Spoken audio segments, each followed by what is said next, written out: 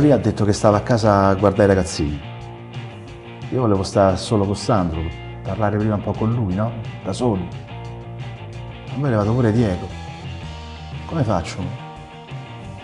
È un bordello, Tony. Un bordello vero. Neanche a farlo apposta, proprio adesso mi è venuta in mente una cosa molto creativa per l'antipasto.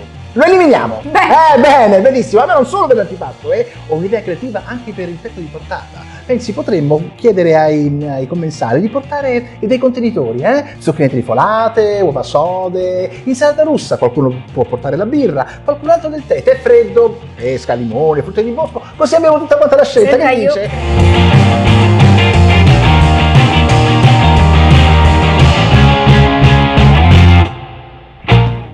Io non so perché abbiate perso tempo a venire a scuola in tutti questi anni. Una scuola che già di per sé non serve a niente, ma soprattutto per voi, 20, 21, tantissimi, non lo so. Che mio modesto parere siete le persone meno adatte a ricevere qualsiasi tipo di apprendimento. Non trovi che sia bellissimo? La campagna è quello strano posto dove i polli vanno in giro crudi. Come hai detto, scusa? Baudelaire ha detto Baudelaire.